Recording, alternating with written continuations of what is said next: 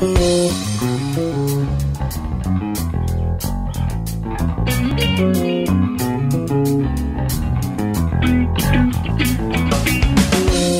everyone. This is Richard Solomon. The show is Taking Care of Business, and this week we are going to journey into the history of Whitestone with our guest, Jason Antos. Jason, welcome to the show. Hey, thanks for having me. So, so like you, uh, we have a lot in common. I guess we're both in the field of journalism. You work with the Queens Gazette. I'm on the radio, and we're both authors. Tell me about your book on Whitestone. Well, the book I wrote is uh, called Images of America Whitestone. Uh, did it with Arcadia Publishing back in 2006, and I'm proud to say that it's the first uh, published history book uh, on the town. Wow. Now, I'm very excited because I, I, I am from Whitestone, and my parents and grandparents moved to Whitestone, so we've been here a long, long time. Uh, I was telling you in pre-production. I remember when I was 10 years old. I want to give away my age here, but when I was 10 years old, on 16th Avenue and I think it was 200th Street, there was a little plot of land that was, and this was only 1970. It wasn't that long ago. It was a little plot of land. It was a tomato farm, small, but it was a tomato farm. And I remember there was a horse there, and that was not that long ago.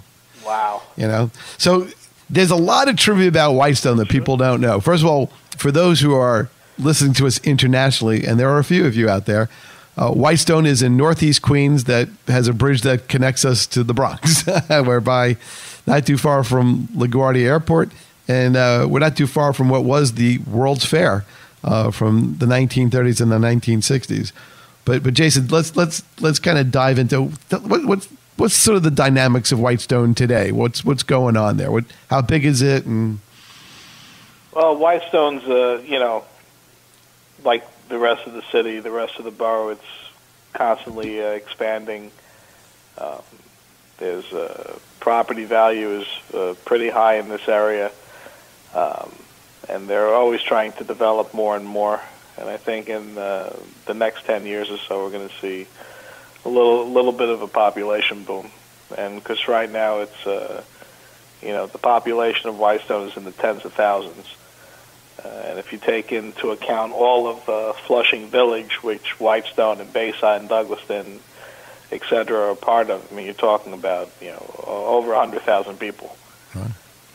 So, so how? For, I, I read on you know Wikipedia, uh, you know Whitestone was sort of named after the limestone in the water. what, what did you find out about the uh, the, Well- the origins from the 17 and 1600s? It's interesting because that uh, boulder was actually there until the 60s. Um, it was a huge white limestone boulder that was it was tremendous. Uh, when the first settlers came here, they saw the sun. Ref- the legend goes that they saw the sun reflecting off of it, and it was uh, like a beacon almost, and it was kind of beckoning them towards the land and you know they were into all this uh, all the omens and you know symbols and kind of things so they took it as a good omen as a good symbol and actually that rock was so white and reflective that when there was a full moon sailors used to use that rock to mark the shoreline Wow. and as the decades wore on and nature took its course and that rock began to turn green and, and black from you know from the water from I guess algae and uh, you know I guess uh, you know different uh, you know chemical breakdown in the rock um, it wasn't that visible in the moonlight so it was at that point that the all the sailors uh, petitioned the U.S. Coast Guard to build a lighthouse so any famous photos that you see of the old Whitestone Lighthouse was built right at the position where that rock was, because it was so bright in the moonlight that it acted as its own like natural lighthouse. So, so did they build a lighthouse on it? Uh, it, they built it on the bluff right above it, so the rock was still there, um, and it was so tremendous that people could climb on top of it and then sit on top of it. You could put about a dozen people on top of this boulder and sit them comfortably, and they would all have enough room. And uh, years later, that uh, rock became known as Hell's Bells because people would go on top of the rock and they would hang out and lose track of time for whatever reason. and the tide would come in, and there was no way for them to get back to shore. so they called it Hell's Bells. Now, where is that rock right now? Uh, the rock is gone um, because in the 70s and 80s, as they expanded the shoreline uh, and filled it in, the rock uh, completely disintegrated and got you know swallowed up. So the the exact position is known. Um, and the reason we, we thankfully know about the position is because of the old lighthouse that used to be there. And it would be in the part of Whitestone known as Whitestone Point. Which is wh- where? Which is right by where the old CYO used to be. I know where that is. If oh, you, yeah. If I, you follow along the CYO property all the way to the end of the shoreline, there's like a point. It's and you can tell that it's a point from where you're from where you're standing. And right at that point, if you look down into the water, that's where the white stone would have sat. Uh, now, what's kind of cool about Whitestone is if you, on a beautiful summer day, if you take a drive to certain parts of Whitestone that you know are, are on the water, the water's edge, sort of, there are some spectacular views of the Whitestone Bridge and the water. Um, it's just it's really really cool, uh, and uh, it's sort of like you know like the the, the Malba part or the I don't know the Cryder's Point parts, but there's some really interesting views uh, from Whitestone. Uh, who who are some of the more famous uh, personnel other than Jason Antos and Richard Solomon from from Whitestone? Well, uh, we're the we're the more modern famous people, but who are the more the historical famous people? well, of course you have. I mean, they they can't compete with us, of course, you know. But the um, Because we have radio and print media. absolutely, absolutely, we're we're international. The um, would be Francis Lewis, of course. Um, you know, signer of the Declaration of Independence. Uh, the town was called Clintonville for a short period of time, and we have a Clintonville Street, and that was after DeWitt Clinton, the uh, governor of New York, and um who I believe was the first governor of New York, and who was actually born in Maspeth. He was uh, born and raised in Maspeth and had property in Maspeth, and that's where his homestead was.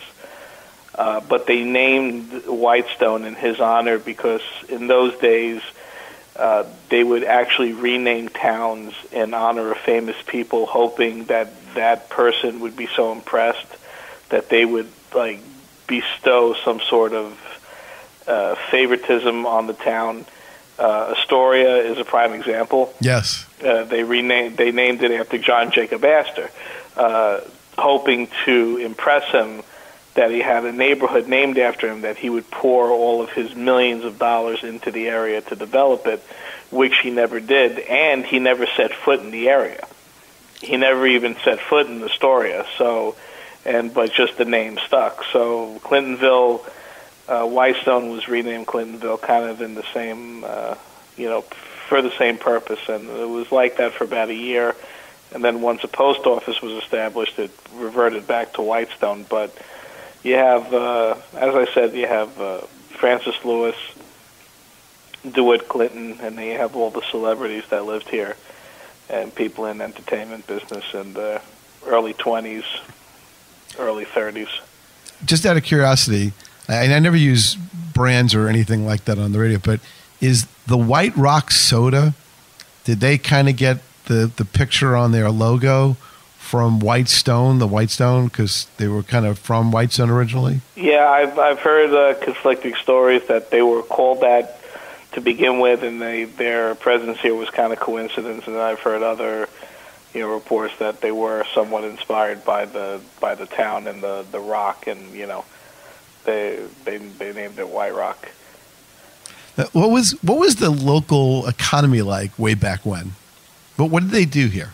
Uh, well, th- n- not much. Uh, the uh, well, it was farming. I mean, that that's really what it was. It was just farming, and the industry was self-contained. It was just people would farm uh, to keep themselves alive, and, and that's what it was. It was just a place to live, and um, you know the you know anybody who had a career in those days, it was they were either a politician or an, attor- an attorney or judge or something like that, and they would live out here and uh, you know, their business was uh, basically owning property. I mean, that's what they did back in the 1700s and the early 1800s. Was they were landowners. I mean, that's how you made your living, just by buying land, buying land, and then selling it, and letting people build on it. Uh, so the first uh, industry that uh, came to Whitestone was kind of a niche industry. Was uh, right where the Waldbaum's uh, shopping center is at the foot of Powell's Cove and 154th Street, a tremendous reserve of clay, a clay deposit, was discovered, along with a natural uh, spring. Oh, really? Wow. So the uh, which was rich in iron. So the first industry here was the manufacturing of clay pipes and that was uh, late 1700s, early 1800s, about the time that George Washington became the first president of the country. And then in the 1850s, about five or six years before the start of the Civil War, is when the first industry came to Whitestone, and that was with John Locke, who was a tinware manufacturer from Brooklyn. And he set up shop on 12th and Clintonville Street, and his warehouse is still there to this very day. Wow. It's right across the street from the little Dunkin' Donuts that's on Clintonville and I believe 11th or 12th Avenue. And then, you know, directly across the street is this huge building uh, with a big roof, and that is the Locke factory. And he made tinware, um, he made uh, irons to iron clothes, um, Japanware, which I believe was a was like a form of China. It was like a form of uh, cooking ware in those days. And that was the main industry. He brought, uh, and it was a huge uh, facility, and he brought all of his employees from Brooklyn here to Whitestone and built homes for them. Because in those days, when you turned it into a factory town, you also housed the employees as well. Uh, kind of like what uh, Conrad Poppenhusen did in College Point when he made the rubber factories. So Whitestone became kind of like a company town in the 1850s and early 1860s because of John Locke. Now, what was the relationship between Whitestone and Bayside? Uh, relationship between Whitestone and Bayside, or, or the difference, you know, the relative difference, because I know that in Bayside you had Fort Totten, and at the time, I guess they were building the fort, and they were building the historical Civil War era fort, which I actually you know, now that the statutes of limitations have probably passed, when I was a kid, I used to crawl all over the the uh, the, the fort, which was never really concluded as far as its construction. But what's kind of interesting is there is a fortress that actually faces the bay, and it faces Fort Schuyler on the other side, and it was made out of really, really big, you know, I guess granite type stones. I'm not sure how it was made or where it was made, but um, it was actually very, very interesting. When I was a kid growing up, a lot of children had officers as parents stationed at Fort Totten. And then one of the things everybody used to do was like used to kind of break into the old fort wow. just and play. And in fact, a lot of the kids knew all the, the really cool places to go, and they'd show you, and you'd see what would be the places where I guess the cannons would point. But I, I know that it was never really finished in terms of construction. But what was was there a rivalry? Was there a, a, symbiotic relationship, or anything like that? Um, not not really. I mean, the towns were kind of independent uh, on their own um, because before the consolidation of New York City in 1898, uh, towns in in Queens, excuse me, and in Brooklyn, and around the five boroughs were pretty much like towns that you would find in Long Island.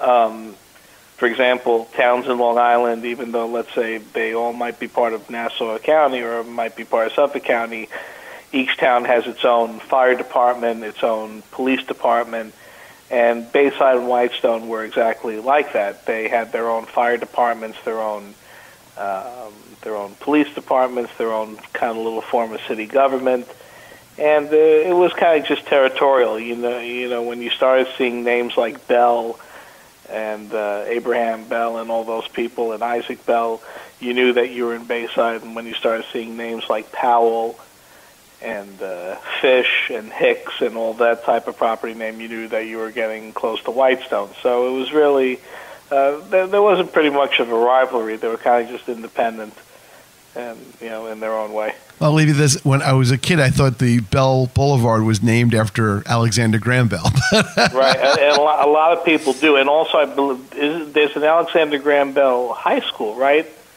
or I, middle school. I don't know, but I can tell you this: on somewhere on 32nd Avenue in one of the cross streets, I guess, sort of by the Bayside Milk Farm. Okay. You actually see uh, like a, a post that says Bell Avenue, but it looks like it's old. But we'll have to continue our conversation about Whitestone with Jason Antos, uh, author, historian, and reporter, uh, right back after this. We'll be right back. Keep it locked in at TCB Radio.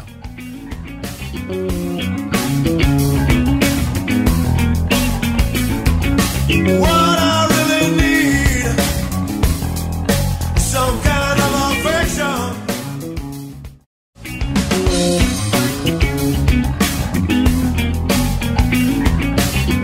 Welcome back. Richard Solomon, TCB Radio, taking care of business. I'm flying solo today. My guest is local historian, local resident, uh, reporter, journalist, um, Jason Antos, whose book is Images of America, Whitestone by Arcadia Press. And I've seen the book. It's a, it's a great, great book. And it's near and dear to me because uh, I'm from Whitestone. And uh, a lot of my family has lived in Whitestone and uh, it's just kind of cool to know all the little nooks and crannies. So, one of the things that we were talking about in pre-production, which which we should share with our audience here, is that Whitestone actually had a railroad at some point. Well, what, what was that like, and why is it not here anymore? that is a question asked by many people, including myself. Um, I, you know, the story of the railroad is uh, awesome and tragic at the same time uh, Whitestone, uh, as we became more developed in the late 1860s, once we became a factory town and uh, population started to expand, uh, we needed a railroad. And it was actually John Locke and Conrad Poppenhusen from College Point who got together and said, listen, we need, you know, we're building this factory town. Uh, you know, there's no reason why we can't expand it to be beyond the factory town to be a big residential area because there's so much property and so much land here. So we need to bring a railroad out here for people who are interested in buying property, for people who are interested in buying our products, to ship our products. We really need a railroad. So in 1869 or 1868 rather, uh, they created what was known as the Flushing North Side Railroad and that railroad, uh, you know, it, there's a long, long history and complicated uh, political circumstance of what happened. I don't want to, you know, put anybody to sleep, but eventually, a few years later, it was absorbed by the Long Island Railroad. And the uh, Long Island Railroad brought the line here to Whitestone. And we had a railroad here from 1869, all, which is the year that professional baseball started, by the way all the way up until 1932. And then what happened? And then the Great Depression happened, and the the LIRR basically pulled the same stunt that the MTA does today when they want to eliminate a bus route. Uh, is they claim low ridership, and that it's not turning a profit. And there is documented uh, proof to show that the Whitestone branch of the LIRR was operating at some kind of a loss uh, in the last few years of its of its, of its existence. Um, but the the tragic part was the ironic part was it was really the LIRR's fault why it was operating at a loss. There was a lot more that they could have done to turn that around. It was a very simple resolution, but and also the town depended greatly on the railroad. Uh, in fact, when the railroad was eliminated, people actually moved from Whitestone. And people also sued the LIRR because since the railroad was going to be eliminated, their property value decreased tremendously overnight. and businesses had uh, they sold their businesses. People went out of business because there was no railroad here. So the loss of the railroad was devastating.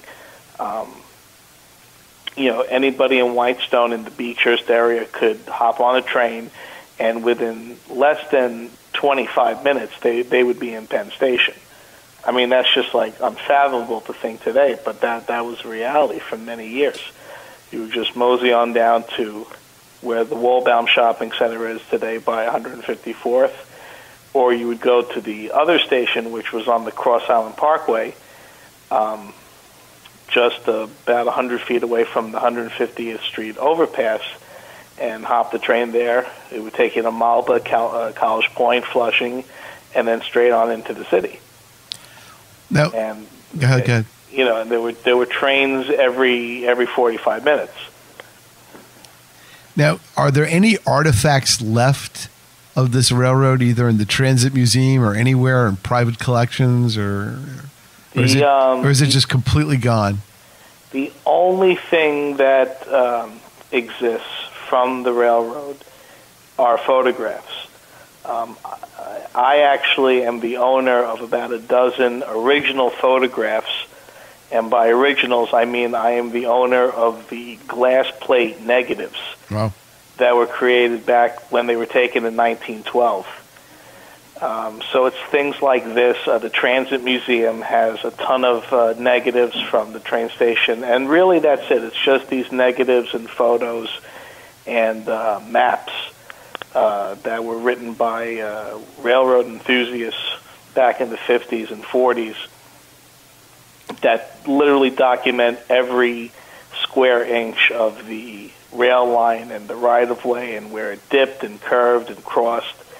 And but that's it. There's there's really no physical uh, remnants. The only uh, thing that you can argue is that uh, there is still the right of way um, that cuts through Whitestone. The right of way. This would be the pathway of the train Right. and certain homes that are built along 154th Street that were built after the railroad or while the railroad was here, you know, towards the end of its existence, the homes are catty cornered. They're they're curved to the side. They're not built directly uh, perpendicular to the street. They're built at an angle, and that's to let the train pass pass by. Oh, wow. What was the fare back then? Uh, the fare was, uh, you know, started at 15 cents, then it grew to a quarter, then it grew to uh, 60 cents, and then 75 cents.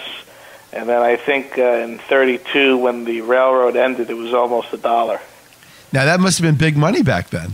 Yeah, it was. I mean, it was kind of a luxury uh, to, to take the railroad.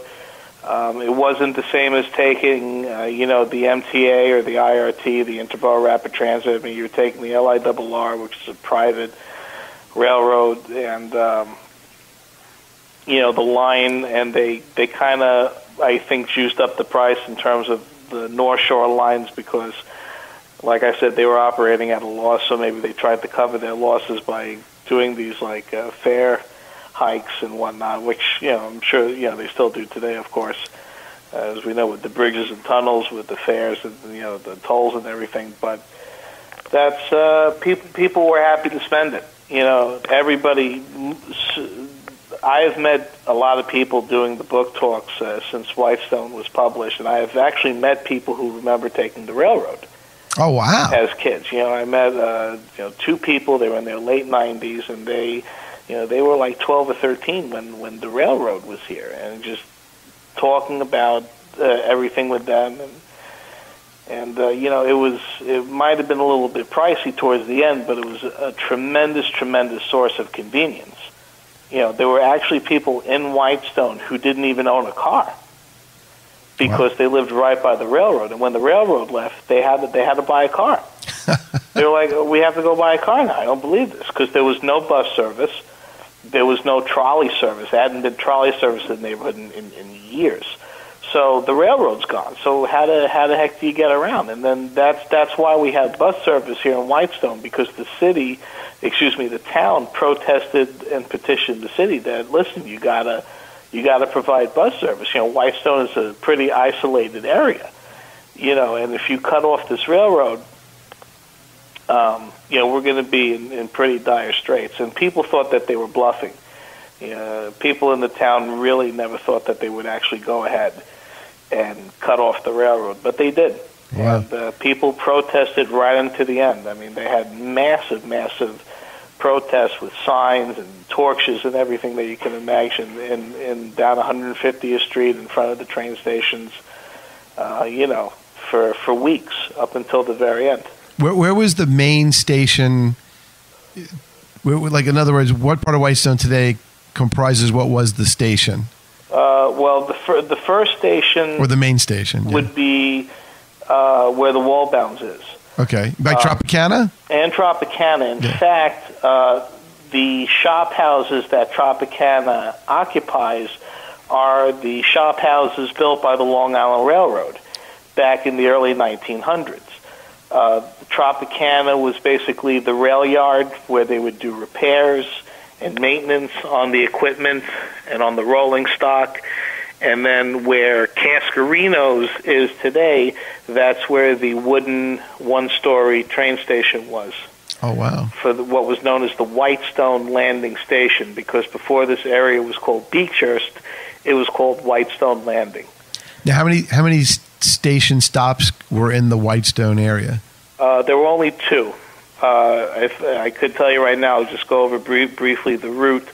Uh, so if you got on on the train in those days, you would walk down into the Waldbaum Shopping Center, and the parking lot uh, would pretty much be a parking lot back then. It was a place where the horses would gather, and then in those days, the early Model Ts would gather to pick up and drop off passengers.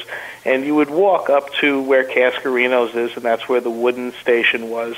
You would step over the tracks up onto the platform. The train would come down from Tropicana, and you'd board the train, and then he would depart, and he would cross over 10th Avenue, uh, where there was a gate, you know, a crossing gate, and the train would run parallel to 154th Street. He'd cut through the PS 193 playground. He would cut in back of Tony's uh, Beechhurst Deli. Um, I know where all these places are. and go all the way up to 14th Avenue, uh, right in back of the rear of the Whitestone Shopping Center. You know that big ramp. sure. Uh, the reason that that ramp is there, that huge incline, that's all landfill. That part of 14th Avenue that crosses in back of the shopping center was actually a bridge.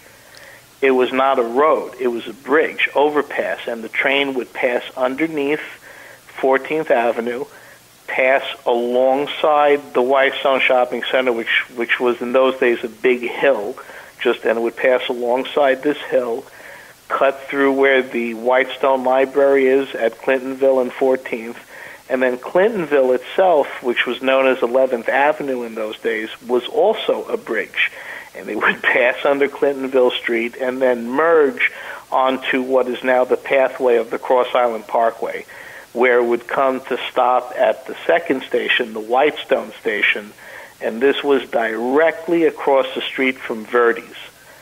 Oh, I know. Yeah, if, yeah. if you walk out of Verdi's today, let's say you walk straight out and you look directly ahead of you, you're going to see the guardrail, you know, alongside the service road. right. And that guardrail right in that, that space is where the three-story station house was. And then the train would leave from there and continue towards Malba, pretty much following the Cross Island Parkway today, as you would if you got on from, uh, let's say, by you know the shopping center and you were heading towards the Whitestone Bridge, and it would pr- pretty much head along that same path, and then it would head into Malba to 149th Street and Malba Drive, where the third station was.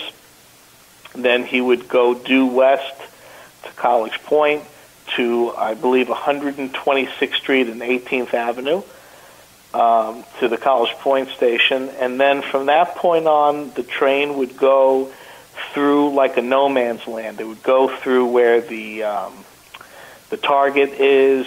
It would cross 20th Avenue. It would go through where the DMV is and the old Flushing Airport. And it would just cut through all of this, what was then marshland. It was just all marsh and salt meadow and swamp. And it would go over what is now the Whitestone Expressway and cut into the Pathmark Shopping Center, which is by the Whitestone Bowling Alley. I know where all of that is. Uh, oh, Whitestone Bowling Alley open 24 hours. You got it. And it would go straight past that bowling alley, and it would come down a little corridor and stop right at Northern Boulevard, uh, and and um, Northern Boulevard, just a few feet away from College Point Boulevard. Uh, it would be if if you remember the old RKO Keiths. Sure do. It, it would be around a hundred feet down from the Keiths towards College Point Boulevard. All right. I think I saw Star Wars there. And my mother saw it there too. uh, in fact, there's remin- uh, uh, if you are on that part of Northern Boulevard heading towards College Point Boulevard, there's a Blackman's Plumbing and Hardware Supply Store, Right. and that building was part of the train station. Oh, really? Yeah, it was. Um, it was actually a refrigeration shed uh, that can that uh, preserved meat, and they would put the meat on the train, and the the platform was connected to that building. So right where the Blackman's plumbing supply is, is where the train would pull up. Then the train would cross Northern Boulevard, cross. Well, there wasn't that big bridge that's there today. That that was further down, and it would cross over College Point Boulevard and come right in front of the U-Haul building, which at that time was the W.J. Sloane Furniture Warehouse and then later became Serval Zipper Factory, cross over the creek, and then merge into what is now the, The City line? Field Willets Point station of the Port Washington line Oh, the Port. okay. and then and then basically take that exact line, that same trackage, and go all the way into Manhattan. And in fact, the next time you go to Citi Field on the Long Island Railroad, you get off on the platform, and all you have to do is walk down to the end of the platform, heading back towards uh, downtown Flushing, Right. so that you see downtown in the distance. And when you get to the edge of the platform where you can't walk anymore, look down into the marsh, into the swamp, and you see the old tracks of the Whitestone branch still sticking out. Wow, that that actually is the. Or I guess that's a cool artifact. Uh, I'll tell you what you talked about in that last segment really brought up a lot of interesting uh, things to talk about. Did you know when you talk about Flushing Airport many many years ago, the Goodyear blimp used to land there. Oh yeah, And I remember when the blimp would come and, and would land there. And I remember when it was a, like when it was an active airport. Um, so that was kind of interesting. I know that uh, one of my clients, a really good friend of mine, told me that in the Civil War era, that in I guess on Clintonville Street by sort of uh, Junior High School 194 in that area, where I guess Clint, uh, Kent Cleaners was, okay. it was a place that they they made caskets that were used in the Civil War.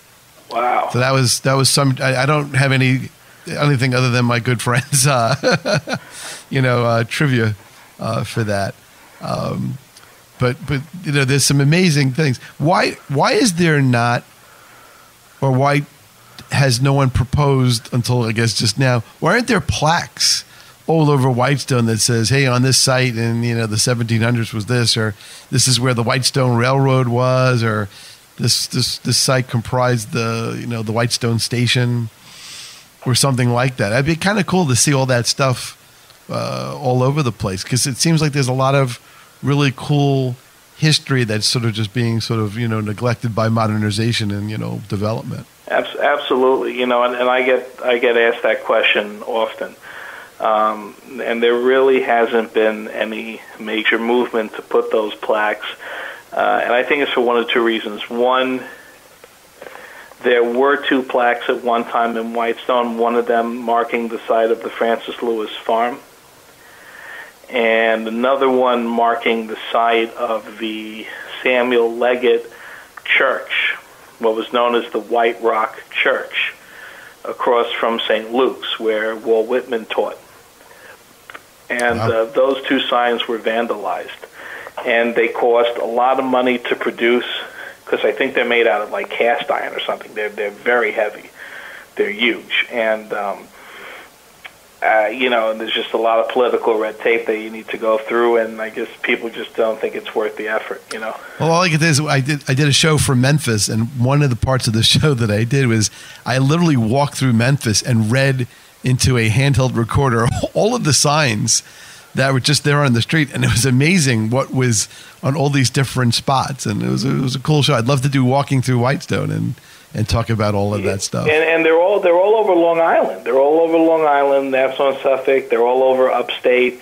You know, and it's and it's everything from like you know the major historical point to like the banal. It's just like you know, you know, here stood an old uh, you know barn. You know, that was the oldest right. barn in the northern hemisphere. Something you know, very like random like that. But then it'll be something like, okay, well, this is where there was a Revolutionary War battle fought. You know, etc. But they're all over the place, but not but not here in Queens. All right, when when, I, when we come back, because this show is flying, uh, I want to know: was there a Native American population here? And second, is there any archaeology around here? But we'll ask those questions on the other side of this break. We'll be right back. Richard Solomon, Taking Care of Business, tcbradio.com, and on YouTube, tcbradio.com, user forward slash TCB Radio, WCWP. We'll be right back.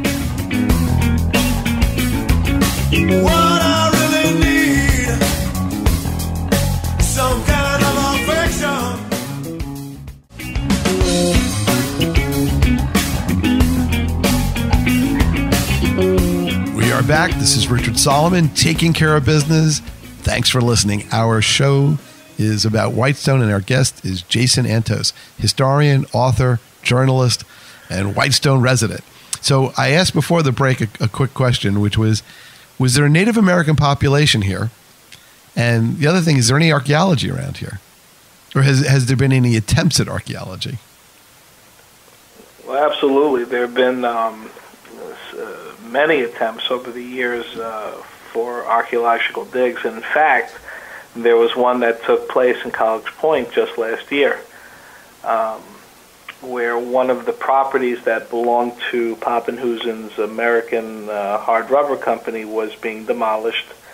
And before anybody could build on it, it's actually a law that if it is a site that is old or historic, that uh, an archaeologist has to come in for just a few days before they start, you know, digging or laying a foundation to see what's down there. And they uncovered um, uh, glass bottles from pharmacies, from local pharmacies that were there in College Point about 150 years ago, and a lot of discarded rubber products like uh, rubber combs, buttons, etc that were made by Poppenhusen's uh, hard American rubber company. Wow. Yeah, a good friend of mine, I won't mention his full name, but Vinny collects uh, antique bottles and he has a lot of local things uh, from around here. Uh, is there a place where some of these artifacts can actually be found? Um, in terms of like a museum? Or, yeah. Uh, well, there is actually a standing exhibit at the Bayside Historical Society, we have uh, an archaeological room where we have uh, artifacts that are from a dig that was conducted right on the Fort Totten property many, many years ago. And things that were found were just incredible. Uh, you know, we found uh, teeth. Uh, I believe they found many arrowheads.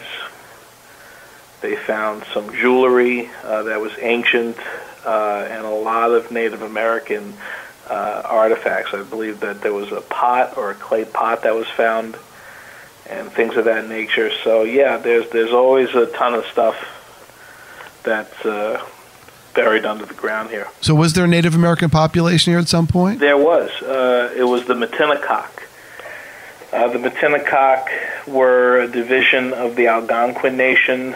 Um, years ago, up up until recently, uh, anybody in the public school system or Long Island that learned about the Native Americans, they would learn about the so-called 13 tribes of Long Island.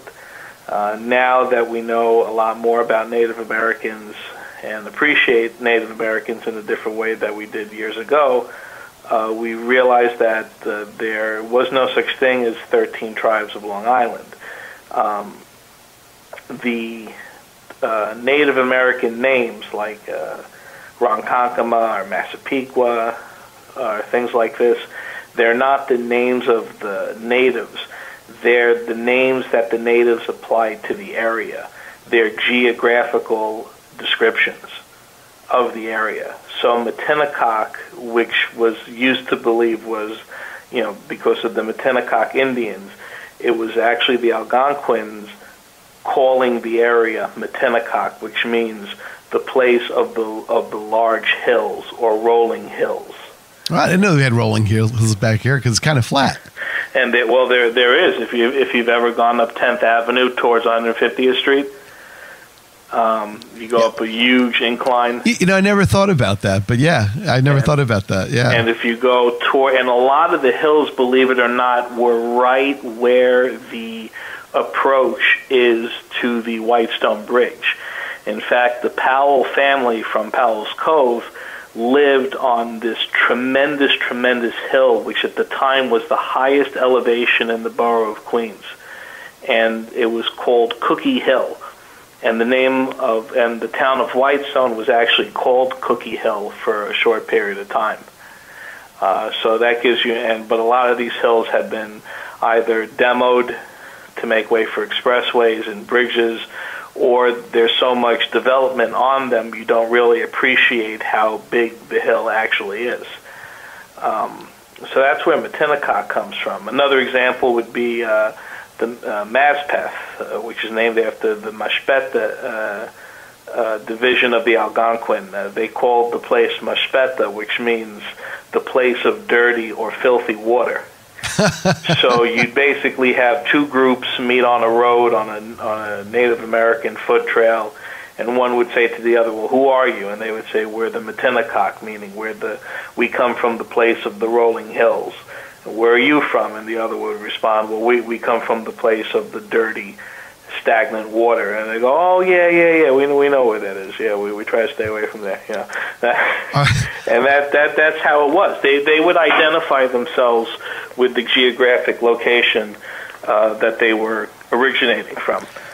Now, would they? Are there descendants of these people local today? They're still around. Oh yes, uh, the there's a Matinecock tribe at way way out east, um, towards uh, I believe Montauk, and um, But that's not the Shinnecock. That's different. They're, yeah, it's different from the Shinnecock. Uh, it's the Matinecock, and they, I believe their leader is um, Chief Little Fox, if I'm not mistaken. But there's a lot of uh, fractions amongst the Matinecock, so there's like all these different subgroups. But on a local level, uh, there is a Native American community right here in Little Neck. Oh, I'd love to. I'd love to find out more about that. What were? Are they centralized? Or how do you find them? They are living in a two house compound in back of what was the Scobee Diner. Um, living in a house that their family has lived in for over 130 years. And two farmhouses that literally saw the building of Northern Boulevard, Little Neck Parkway, the Long Island Expressway, and everything around it. Um, in fact, uh, in the original survey, uh, they were the only two homes in the entire section of that area, which is the crossroad, I guess, of Northern and, and Little Neck Parkway. And uh, I- right by uh, a few blocks down from uh, from the Scobee is the Stop and Shop and the post office. Yeah. Uh, well, right there was the huge native, uh, was the huge Matinecock burial ground. And the burial ground was there up until 1938, when, in anticipation for the First World Fair, the city widened all major road arteries heading into the city to accommodate traffic, and Northern Boulevard was widened. And in order to widen it, they had to eliminate the cemetery. So the Matinecock were all dug up, and, and the cemetery was very evident. There were tombstones still there. It was gated off, and the city dug up the tombstones, dug up the bodies, and you know Native Americans, like all ancient cultures, when when they're buried, uh, they're buried with you know their belongings, with uh, certain artifacts that meant something to them, and they would. The belief was that they would take it to the afterlife. So the city dug up all of these artifacts as well, and half of the artifacts went to various uh, Native American museums across the country, which the family was completely devastated over because you're not supposed to do that. It has to stay with the person at all time. And the bodies were all, which were in individual graves, and they were clearly marked and clearly labeled, were all dug up, put in one containment unit, and then put in a mass grave at the in the churchyard at the Zion Cemetery, which is on Douglaston Parkway and Northern Boulevard. And they stuck a huge uh, granite boulder on top of them, and it says, "Here lie the last of the Matinecock." That's a little brutal. And wow. uh, the family that lives at Little Neck Parkway and Northern Boulevard uh, since the 30s. There, from starting from their great grandparents all the way up till now, uh, have been fighting for the restoration of that cemetery, and have also been fighting for the return of these uh, artifacts. And they uh, were actually able to track down some of the artifacts removed, and they are in some very prominent museums in this country, and the museums refuse to give these pieces up from their collection. Well, and none of this makes the news.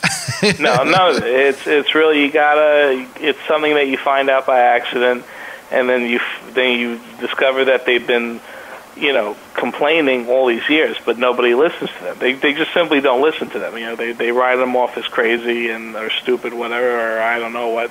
And uh, but then once you start listening, and then they show you all this documentation, then you do your own research, and it all uh, it's all true. You know, it's all uh, you know. You're able to verify everything that uh, that they're told, and you know the the removal of the cemetery is a very well uh, photographically documented event and written about in the Times and in all the local papers.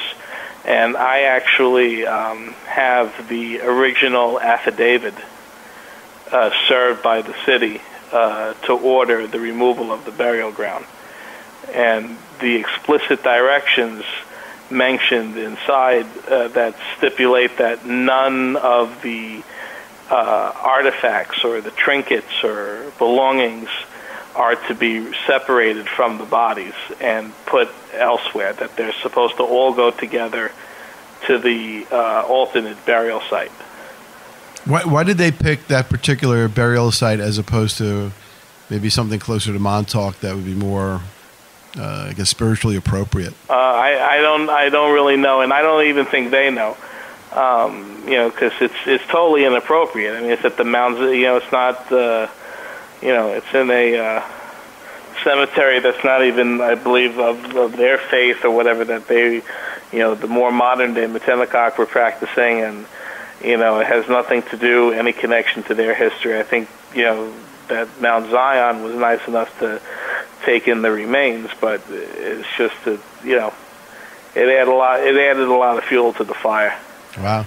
And uh, just on a final note, um, the reason that that cemetery was there to begin with was because it was at that section where the Matinecock had their last stand against the white settlers in the mid 1800s. Wow, that that's a whole radio show right there. Uh, yeah. Is there is there is there a place where you can learn more about the Matinecock? Oh, absolutely. You can um, if you go on Amazon and uh, buy the movie called uh, uh Lost.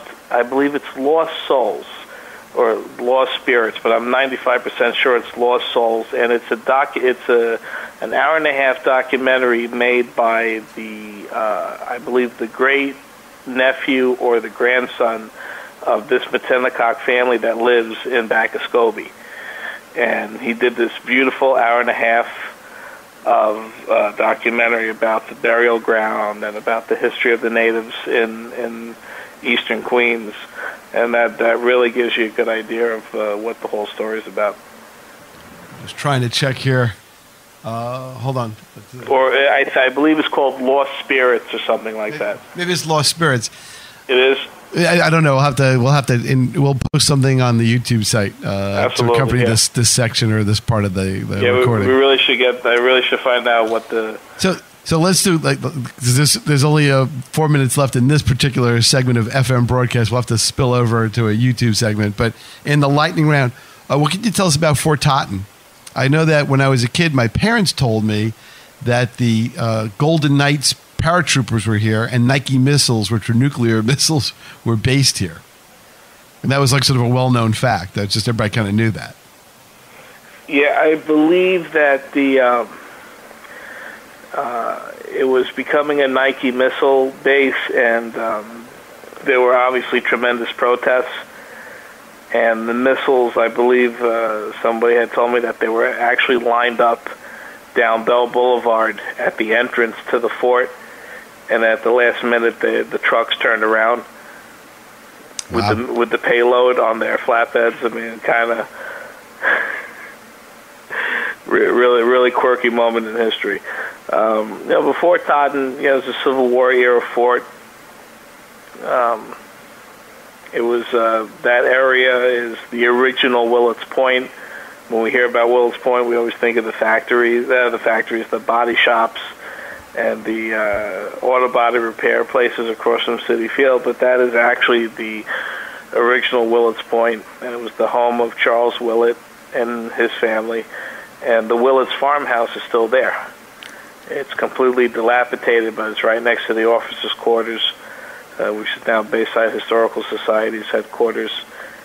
And uh, Charles Willets is uh, buried about uh, 200 feet uh, north of the main entrance to the fort. You can see his tombstone underneath a big uh, maple tree. And uh, the fort uh, was active all the way, I believe, until the mid 90s. Uh, it was a huge training ground uh, for soldiers going into World War One, uh, and uh, so yeah, it, it definitely has a, a huge uh, military history. Wow. Wow, this was like a very fast hour radio. So we're going to wrap the FM part of it now with some contact information and other things. Sure. And then we're going to spill into, for those who want more, uh, we're going to go straight to uh, add this on to the YouTube component. Uh, but real fast, uh, your book can be found on Amazon and can be found on Amazon, Barnes and Noble, Barnes and Noble, the Bay Terrace Shopping Center.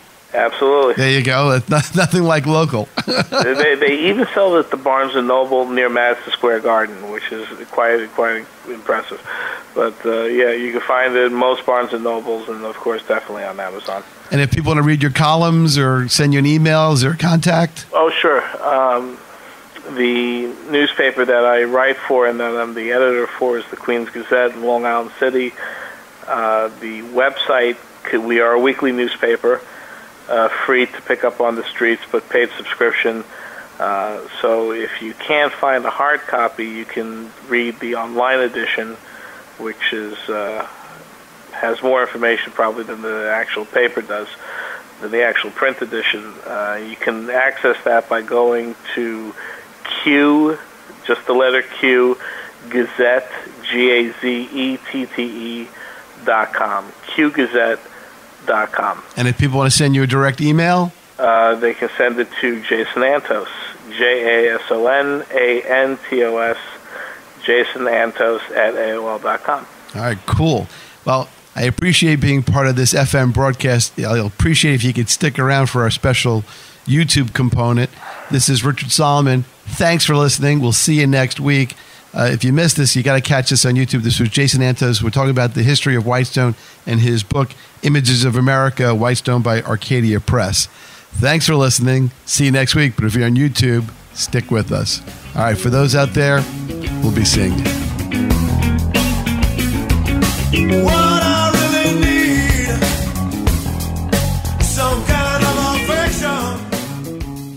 All right, hey YouTube fans, thanks for sticking with us.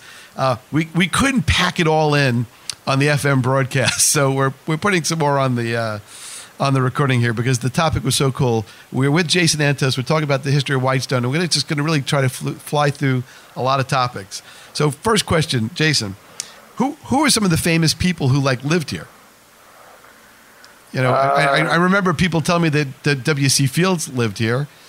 Sure. Uh, W.C. Fields uh, used to swim in Whitestone, but he had his home in Bayside, uh, in Bayside Heights, closer to the Cross Island Parkway. Uh, W.C. Fields lived here, lived in Bayside for many years, and actually filmed one of his most famous uh, feature-length films uh, exclusively in Bayside. Oh, what was that? It's, it's a movie called Sally of the Sawdust with uh, Mary Pickford, and you can uh, buy it on DVD through Amazon, uh, where it's widely available. And the entire movie is is shot uh, in Bayside. Uh, all of the exteriors uh, take place uh, on these beautiful fields and farmlands, and, and then you realize that it's the Bay Terrace Shopping Center where it would be built uh, 60 years, 70 years later. And towards the climax of the film, uh, there's this whole Keystone Cop-like chase down Bell Boulevard, and as he's running, you see the dirt, the poofs of dirt uh, billow up behind him as he's running, because uh, you have to realize that the the road is made out of dirt, and it's not there's not uh, even asphalt, and it's kind of it's it's a cool film because it's it's like a um, uh, it almost becomes like a documentary in a way, you know. Maybe they should, you know, in the movies in the park at uh, Fort Totten, maybe they should show that movie uh, for you know historical purposes. I know. Oh, what, I'm, what, I'm actually working on that right now. I'm trying to have a big screening done uh, at Bayside Historical uh, for one of our event nights, and trying to get someone who plays piano to come in and do the piano accompaniment to the to the movie. Oh, that's awesome! we have like a silent movie night, and you know, and when it gets to the certain scenes that show like a part of the Bayside, we freeze frame it and then like describe to the audience what they're what they're looking at.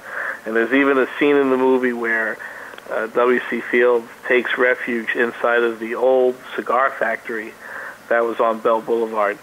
Um, and it was the White Owl Cigar Factory, and it was the first White Owl cigar factory in the country. That is fascinating. Um, Rudolph Valentino. When I was a kid Yeah. growing up, uh, right by the Clearview Golf Course, there was an old house. It was always rumored that it was Rudolph Valentino's house, or summer house rather. And there was an old car. It was a really old car, like a 1940s kind of Chevy Ford. Uh, I remember this growing up, always in the driveway. And then, of course, then it became renovated and different looking and a restaurant uh, or successive restaurants. What could you tell me about that property and, and Rudolph Valentino being there? Uh, Valentina was there for a short time, um, and uh, a lot of these guys, when they built these homes, they they wouldn't stay there. They would only stay there if their work brought them to the area, and they would just let let them out to all of their friends and colleagues uh, if they needed a place to stay. And I believe that after Valentino died, the house and the property went to uh, Fiorello LaGuardia who used it as uh, his uh, summer home. That's pretty significant. I wonder who the people were that lived there in the like in the seventies, uh, the sixties and seventies, because somebody lived there. Uh, it was obvious, but I'll have to ask some of the local folk. Uh, now, in pre-production, you told me that Whitestone was famous because some famous music, uh, fam- famous magicians uh, had contacts here, including uh, Houdini. Tell, tell me about uh, Thurston and, and all the other greats that uh, were, were were here, and what years they were here. Sure. Well, uh, at the turn of the 20th century, uh, Beechhurst, um, which, uh, as I mentioned before, was formerly Whitestone Landing, it became Beechhurst in 1906 from the Shore Acres Realty Company. Um, uh, and in that area lived a magician by the name of the Great Herrmann. And Herrmann lived in an old Victorian mansion that predated the creation of Beechhurst by decades.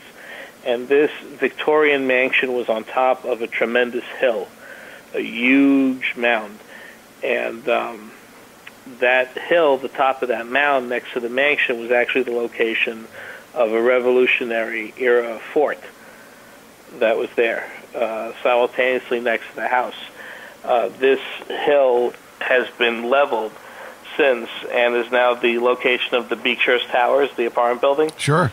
Okay, but that all that property that the towers uh, occupy um, was the homestead for Herrmann, and he was the greatest uh, magician of his time, and he was uh, kind of a bit of an eccentric. He lived alone. Uh, just to show you the type of guy that he was, uh, he rigged this uh, device that whenever you would ring his doorbell, a little uh, trap door would open just above the doorbell where you had your finger pushed in, and the crow would stick its beak out and peck at you uh, and scare the living, you know what, out of people. Um, and around this time, he gets a letter from a young admirer of his saying that you know he owes everything to him, and uh, you know he's going to work his whole life at trying to perfect uh, the magic that Herrmann created, he's also going to have his own career, blah blah blah. And this was a magician by the name of Howard Thurston, and uh, he went to Beechhurst to meet Herrmann, and they became very very good friends. And Herrmann decided to take the young um, apprentice under his wing, and Thurston moved in a home, actually constructed a home right across the street from Herrmann. Uh, so you had Herrmann and um, uh, Thurston living here at the same time. Then Herrmann, who was much older, he passed away. His property was sold off, and that hill leveled, and within a year or so, the Beechhurst Towers were erected. And um, Thurston lived here in Whitestone for almost a decade. He really, really liked the area. And um, Thurston, uh, let's see, I think he, I think he lived here until the time that his wife died and he had kind of a nervous breakdown. Uh, but before all this happened, he got a letter from a young up-and-coming magician by the name of Houdini. Um, and Houdini came out to Beechhurst to meet Thurston, and they ended up hitting it off and started working on magic acts and whole shows together, where they would uh, appear together. You know, the great Thurston with uh, the young Houdini, the young apprentice, so on and so forth. And that's um, yeah. Wow. That's uh, that's Whitestone's uh, connection to the, the magic industry. Wow, that's that's that's fast. I used to, as a kid, I was a magician. The, the place to go to was a place called Lou Tannen's, and you'd go to Broadway, and what you do is you'd see people do magic tricks, and then if you really liked it, uh, you would buy it, and they'd show you how to do it. Oh, and I- awesome. when I was a kid, I you know I actually did like little kid shows, things like that. It was actually pretty cool. But that was a long, long time ago in a galaxy far away. Um, what do you know of anything about what uh, GTE Sylvania Labs was like around here? Because um, I understand there was a there was like a, a nuclear accident here, uh, in like in the 1950s. Yeah, I I first learned about that when I was doing research at the Long Island division at the Queens Public Library, which uh, is an archive open to the public seven days a week. Uh, you don't even need a, an appointment to go there, but nonetheless, uh, I was doing research there, and I came across all of these press photos uh, concerning this uh, uh, nuclear nightmare in Whitestone and it was a, drew it drew a lot of attention from area politicians and stuff like that. But uh, reading into the uh, articles I found, it, it was supposed supposedly contained. Supposedly, but yeah. So supposedly, yeah. If we we start glowing green or we grow a, a third eyeball, then we know that that wasn't true. you know, The Simpsons did an episode about that. Uh, it was like about Blinky the three-eyed fish, and Yeah. um, they said, you know, nuclear energy, our misunderstood friend, and then I think they swept something under the- car- carpet and said, "Oh, we'll just worry about this in twenty thousand years." yeah, exactly. Yeah, let, let it decay first. what other what other fascinating uh, history is around here? Homes, artifacts, people, movies, incidents. Um, wow. Well, Whitestone, you know, was home to many different types of industry over the years. Uh, in fact, uh, because of the huge uh, presence of people from Hollywood and from the film industry here in Whitestone, uh, there was a small uh, film studio that opened up here called uh, Kinemacolor Studios. And there was a laboratory that uh, would hand tint uh, silent films with uh, color. This was like the early form of color. Wow. Yep. Now that's that must have been labor intensive and painstakingly. Uh, Sure, A detailed process. each each cell of the frame, you know, of, of the frame, frame by frame by frame. You know, there could be you know thousands of frames. So that's that was one uh, uh, unique thing that I learned. did, did anything ever famous happen in Whitestone? Any big events? Anything? Any documents signed? Uh, you know, or any Uh, peace treaties or you know anything like that? Sure. Well, I, I think that the, the one of the most famous things uh, of all um, would be when Francis Lewis's farmland, uh, homestead rather, was burned to the ground. Uh, Francis Lewis, as I mentioned, was a signer of the Declaration of Independence, and uh, he was also a uh, a British-born subject. So when the British found out that a British subject had signed the Declaration, they considered it treason. So a warrant was put out for Francis Lewis's arrest, but on the night that they came to get him, and they anchored a warship right off of Whitestone Park, and then a few men in canoes came to the shoreline and then entered the grounds of his estate, of his homestead. Uh, but Francis Lewis was away on business that, that week, and they found nobody there but his wife and his children. So the British, uh, since they couldn't arrest Francis Lewis, they arrested his wife and made her take his place. And they put her in a solitary cell aboard, aboard a prison ship in New York Harbor where she was for almost five days. Uh, didn't drink, didn't eat, didn't do anything.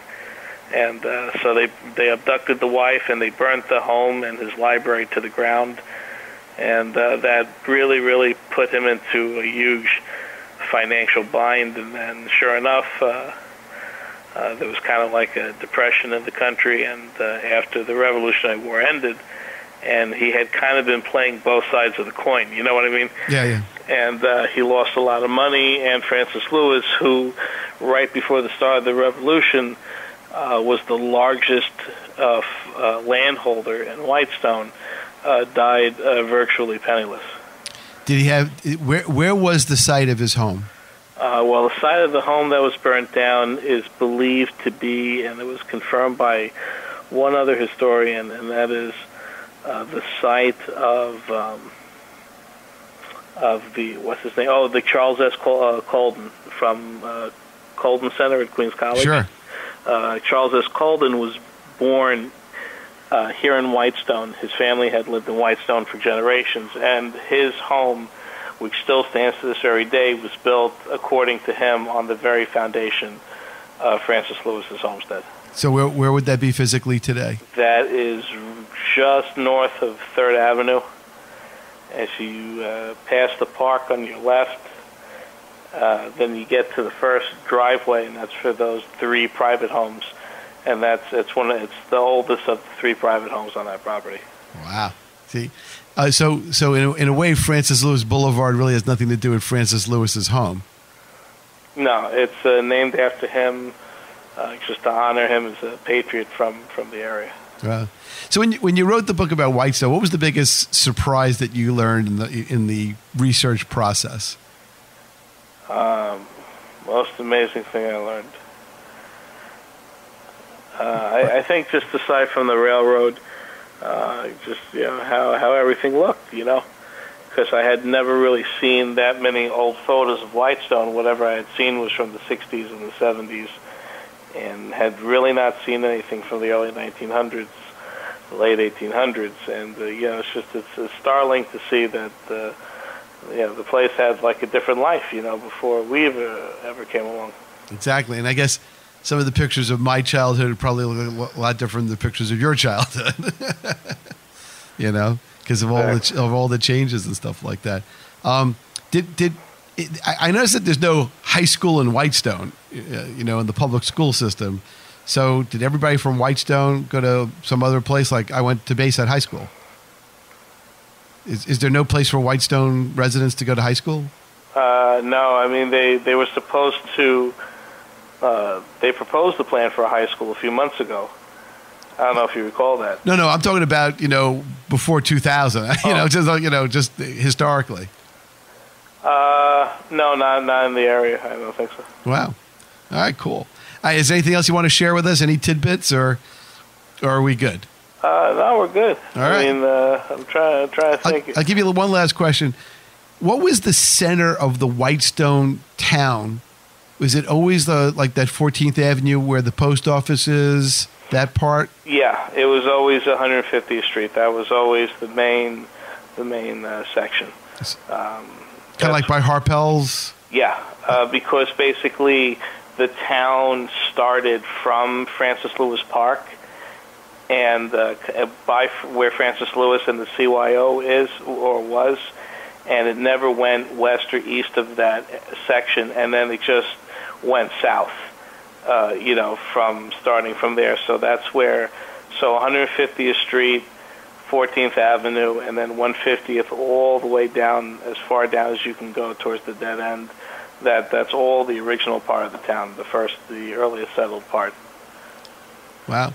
Well, thank you for sharing all that great information, especially about the Matinecock Indians. I Oh, thought, that, sure, I thought yeah, that was really cool. It's very interesting. So maybe one day this recording will be in a museum somewhere and will be added to the famous list of Whitestone residents that preceded us. very, very good, very good. All right, I'm going to close off this segment of YouTube.